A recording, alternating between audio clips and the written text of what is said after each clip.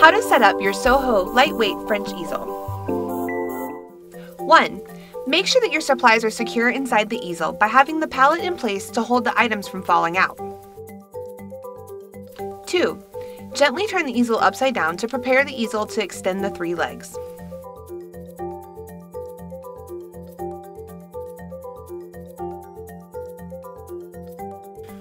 3.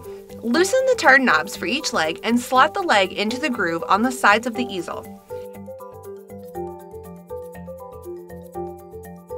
Tighten the knobs back down tight to secure the legs in place. Loosen the knobs for the extended part of the legs if you need more height on the easel and slide the legs out. Secure by tightening the knobs back down tight. 4. The middle leg will fold out once the turn knobs are loosened. Fully extend and tighten back down the turn knobs to secure the leg in place.